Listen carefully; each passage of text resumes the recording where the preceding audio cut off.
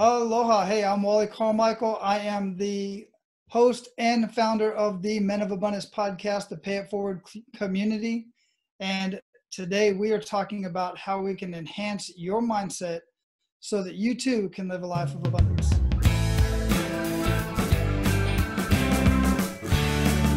Now, welcome to yet another exciting episode of the Online Prosperity Show. And today we actually found Wally. Wally, how are you doing, my man?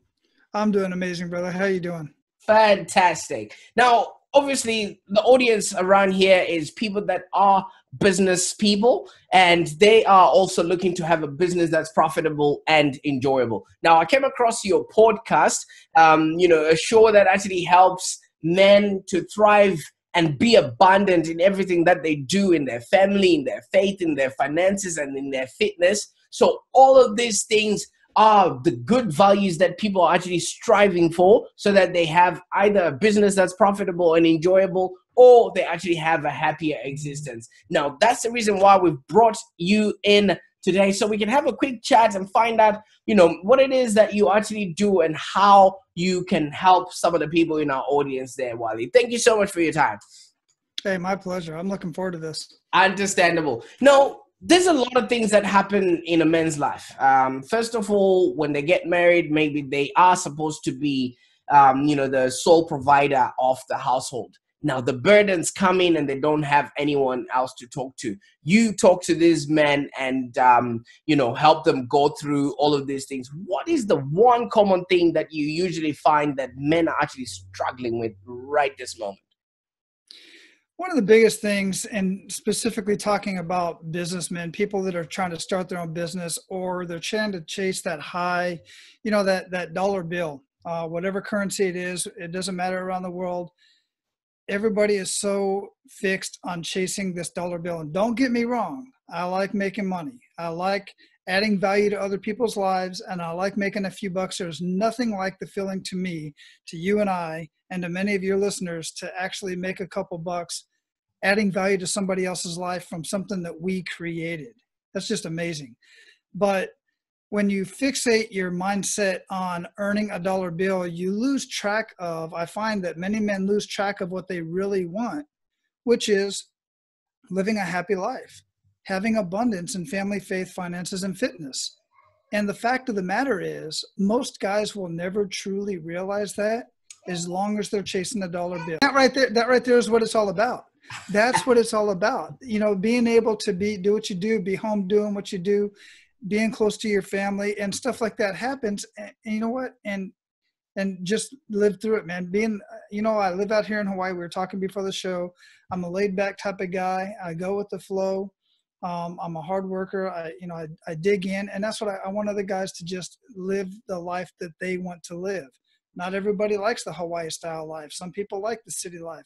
But the bottom line is i want you to live the life that you want to live and the first thing that you you really have to do is to realize what it is you don't want in your life because so many people start with what they do want. Most people can build a list of what they don't want much quicker than they can build a list of what they do want i found that very intriguing as i've been working with a lot of guys. Great stuff. Well thank you so much for that input. Now let's just you know pull it back a little bit and pull the curtain in a little bit. A few a lot of people would not actually understand what it actually means to be abundant or to have an abundant mentality. Can you just give an, a, a brief overview of what that means and um, you know how one can actually um, arrive at such a, a, a position in life yeah, absolutely. And I can just speak for myself. And I start off that way because I've had hundreds of conversations with men and women, and mostly men, for the podcast. And I ask that very question What does living a life of abundance mean to you? And it's different for everybody.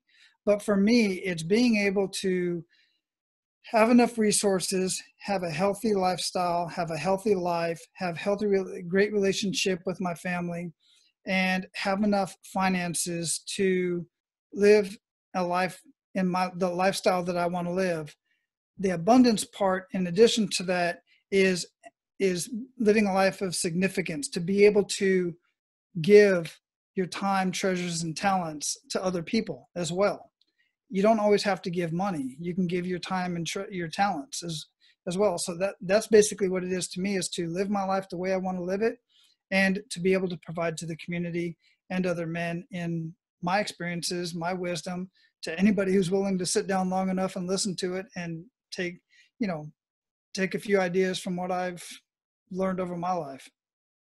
Understandable. Thank you so much because a lot of people don't quite realize that there's enough for everybody to go go around you know what i mean? And once you start having that sort of attitude of abundance you now have a lot to give out of and your mm-hmm. relationships and your um, the things that you do become more fulfilling. Now what have you then found out um, especially maybe we can draw it back a little bit. How did you come about um, starting to deal first of all with this website? Is there something personal that would have happened that you know um, triggered this for you to you you know initiate trying to help other men have an abundant lifestyle?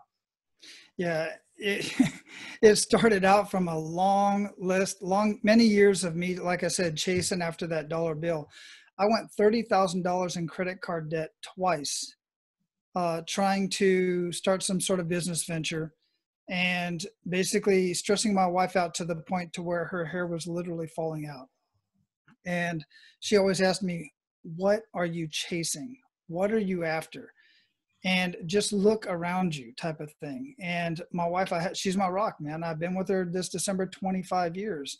And it was about four years ago now time is flying so fast. It was about four years ago i'm living on the beach I've got healthy kids. I've got a wonderful relationship with my wife. I've got a great steady income. I've got side hustles going on where I got a little bit of money coming in there, and I've just got this amazing lifestyle. And I realized I'm sitting on the beach and I realize I'm living this amazing life. I, I, have abundance in my life. And from that came the idea. I got introduced to a guy who teaches people how to and coaches people how to write a book come up with a title, come up with an idea type of thing. I sat down with him and I already had this kind of abundance thing going on in my head. We got to talking and we came up with a title called Living Your Life of Abundance.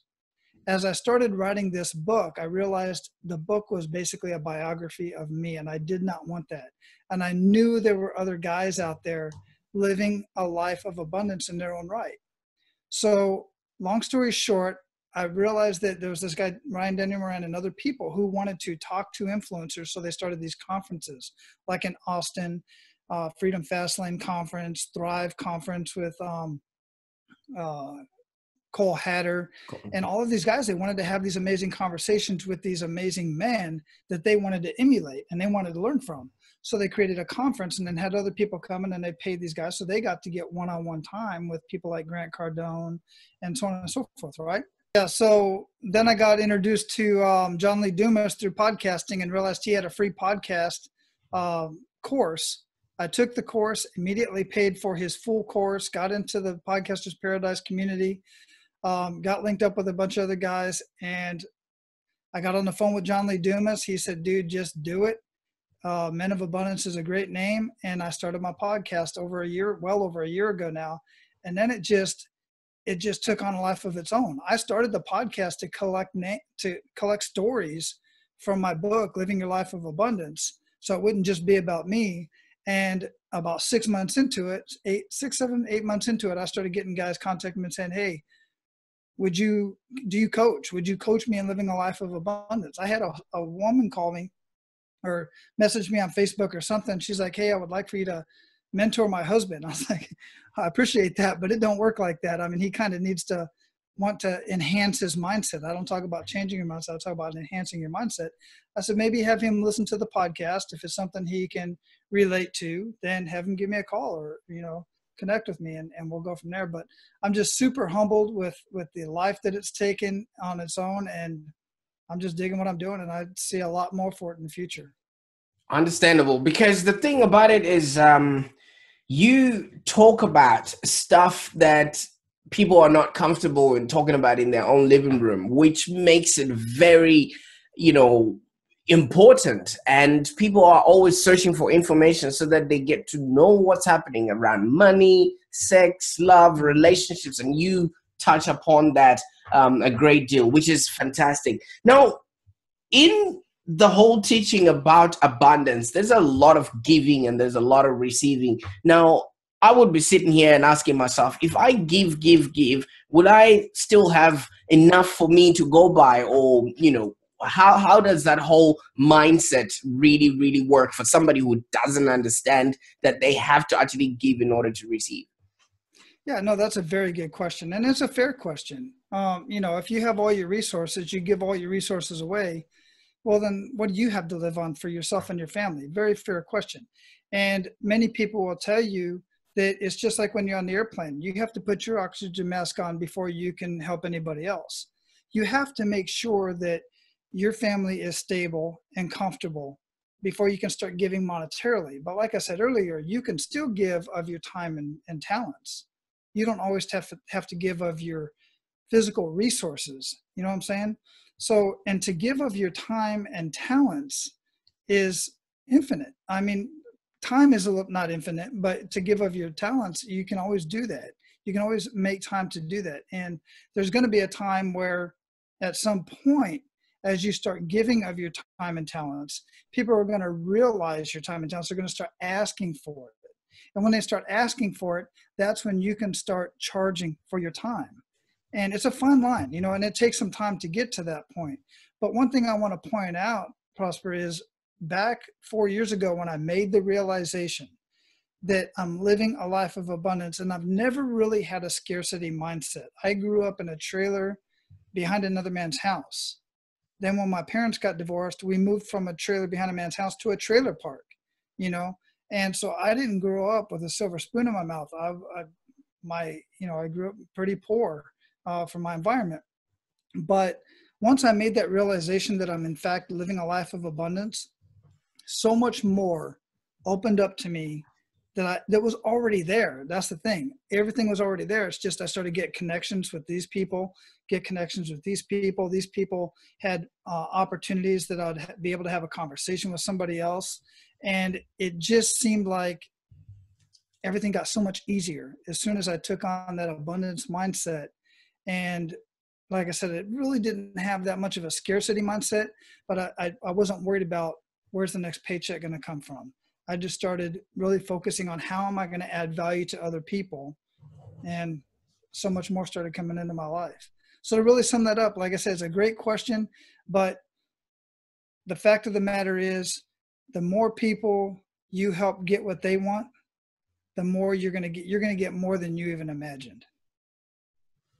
Understandable. It takes um, a, a different sort of enhanced mindset to actually um, you know, acknowledge that fact. Uh, I think it would have been Jim Rohn that says, "Help enough people to get what they mm-hmm. want, and you too will get um, whatever it is that you want." So while you're answering that question, something popped up. You were talking about connecting with other people. You were talking about um, you know enhancing your relationships and just expanding and being very abundant now, a lot of people would be very afraid to let a lot of people in. Now, is fear mm. really something that stops people from um, expanding? Or if somebody is afraid, what would you say so that they can actually realize that they too can be, do, and have a life that's of, you know, of an abundance um, existence? Yeah, that's a very good question. And I just, there's fear of many different things. And when we're talking about connecting with people, starting a business, something of this nature, doing something that you have not done before, getting out of your comfort zone, most of the questions when I ask all of my guests, what holds most people back from living a life of true abundance? 80% or more have said that four letter word fear and many of them explain it a little bit different. And then you've heard the acronym, you know, you've heard the acronym FEAR, uh, false evidence appearing real. Appearing real, yes. Personally, the fear is real. You know, when you sit and think about right now, if you were to sit and think about if you're afraid of standing up in front of people and to the thought of standing up and giving a 15 or a five minute presentation to a group of 10 people, that your heart rate's going to go up. You're going to start sweating. Your palms are going to get sweaty. The anxiety is going to build up. The fear is real. You got to go back and look at what is the evidence. What are you fearing? Eh, are you fearing rejection? Are you fearing what people are going to think about you? Are you fearing, you know, am I gonna am I gonna suck? You know, and chances are those the evidence is real too. Because when I started this podcast, when John Lee Dumas said, look, just start, I already had I didn't even have my first episode recorded. I was afraid to contact the first person. Then the first person, after I made the decision to do it, he contacted. It was somebody I was just having a conversation with. He said, "I want to be your first guest. I'm excited for you. I want to be your first guest." I was like, "What?" I didn't even have to ask. It came to me. So I had my first guest. It sucked. It wasn't a great conversation. I went through my questions. I fumbled around. I had to edit a lot. So the evidence is real. It may suck. It may be a terrible experience.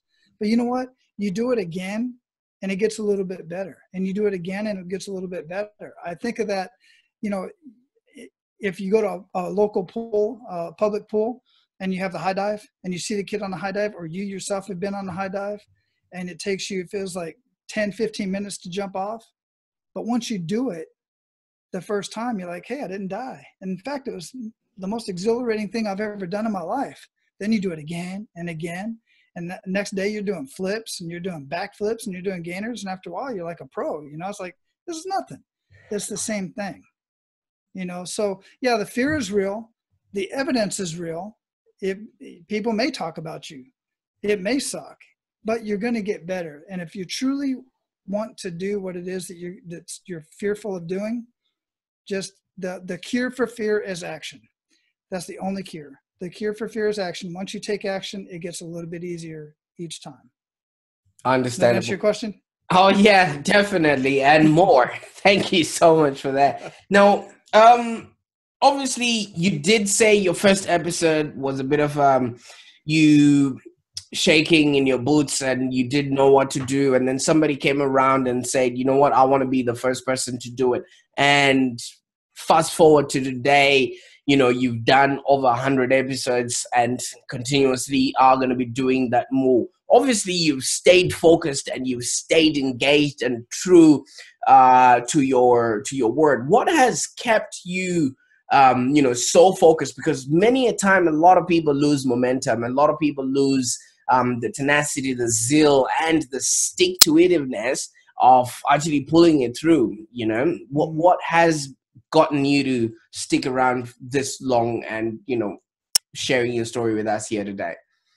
Well first of all i really enjoy having conversations like this with other men and women. I absolutely love it. I thrive on this. I really enjoy it. But i'll tell you that did happen. I did lose my momentum and my zeal a little bit because as we were talking before the show um, i'm in the process I, I moved my family. We went to florida for a couple weeks. And for the week or so before our departure and for the two or three weeks that I was there, I wasn't doing anything at all with the podcast, with the Men of Abundance community or anything. I kind of batched everything and I pushed it out forward. So I got out of my routine. I got out of momentum. And when I got back here, because now I'm in Hawaii, I'm by myself. Uh, my family's not here with me. I got all the time in the world, but my routine got messed up. And it took me a good week to actually sit down and start editing some more shows it took me about a week to actually start contacting more people to be more guests on the show. And at this point, I don't really have to contact a whole lot of people. There's certain people I want to talk to, but I have so many connections. So many people are giving me people to talk to, and uh, a couple agencies send me people to talk to, uh, some great influencers. But it took me a while to. I, I literally lost interest and lost momentum. So now, over the last week, I've been just nonstop the consistency. So to answer your question, one of the two things is one, you have to absolutely have to have know your why. Why are you doing what you want to do? My values are involved in this. So my values are very important. And then the second thing to that on a mechanical level is consistency. Be consistent with what you're doing. Um, it, no matter what it is you're doing, put it on the calendar. If you're doing it two, three times a week, make it consistent two, three times a week. Don't break it up because I took that three or four weeks off and I lost full momentum. Wow. Great stuff. Well, good thing we've got you back back on track. I mean, it does happen. To err is human, and you've also mentioned something that's really important. Um, um, thank you so much, Wally, for for you know sharing your expertise and your time with us. Um, one question that came up while you were talking, you said you now have people um, that are bringing you know clients to you or um, guests for your show that means you would have branded yourself um, particularly well uh, you know as, as as as the person that lives a life of abundance. Is that something that you would recommend uh, you know somebody who's starting out to actually do to brand themselves so that they are known for something and have you know things coming to them just because they are uh, exuding the abundance out there wherever they go yeah, absolutely. I mean, ultimately, that's the point you want to get to as a business and as a brand. You want people to be able to recognize if I'm looking for this particular service, this is the company I go to, or this is the person that I go to. Uh, you always ultimately want that, but understand this that doesn't happen overnight.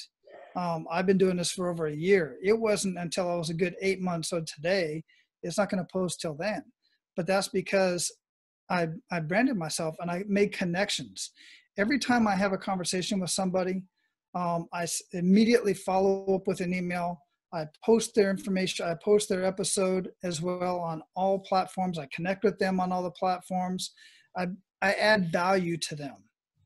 They don't feel, I don't want them to feel obligated to add value back to me because they've already given me much value by being on my show and having the conversation with me, which I greatly appreciate. So I want to add as much value to them as I possibly can. If they feel compelled, or if they run into somebody who they feel would be a great have you know be a um, have a great story for my show for the Men of Abundance podcast, then they'll refer them to me, and it happens several times a week, sometimes several times a day. And some guys say, "Hey, I want you. You need to get on this guy's show." type of thing you know and and that's just the greatest honor to be invited on somebody else's show like yours so huge honor. I didn't say that up front. I don't take this lightly that you would share me with your guests because uh, with your listeners because it's a, it's I don't take it lightly at all. It's a huge honor. Well, thank you. I mean, for accepting and being on the show and giving us so much value that um, you know is is is is all from your years of experience and you know your lessons that you've learned along the way. Now somebody might be watching this show right now and is sitting at the edge of their seat and is just really wanting to get uh, more information and find out how you two can help them be do and have either a business that's abundant or profitable and um, you know or a life that's of a happier existence. How can people get a hold of you there wally? Number one is just at menofabundance.com all of my social media um, links are all up there on the top of the website. Anybody who wants to become a member of my Men of Abundance uh, community, Facebook community, go to menofabundance.com forward slash members and just look through there. It's men only. Sorry, ladies. I know we have a lot to learn from the ladies, but those groups are just for the ladies. Now, ladies, if you do want to get into it, the Men of Abundance podcast, obviously, and the Men of Abundance fan page on Facebook. Just search Men of Abundance. You'll find the fan page. I'm always having conversations and sharing great stuff for everybody. Understandable. Well, if you've been watching this show and, um, you know, you've noticed that we're always bringing in experts that have you know done the stuff that you're trying to learn and they have all the experience and all the lessons that you might be searching for. So first of all if this is your first time on the online prosperity show welcome and be sure to subscribe to this channel because we do hang around with um, experts like uh, Wally that will be talking to you so that they can enhance your mindset so that you can have the relationships, the income, and the life that you know you you want and deserve okay? Now thank you so much wally for your time today and spending um, you know a bit of um, this afternoon with us so you can tell us your story and how you can actually help men to have an abundance mindset. Oh my pleasure man. Aloha I truly appreciate it. Thank you so much.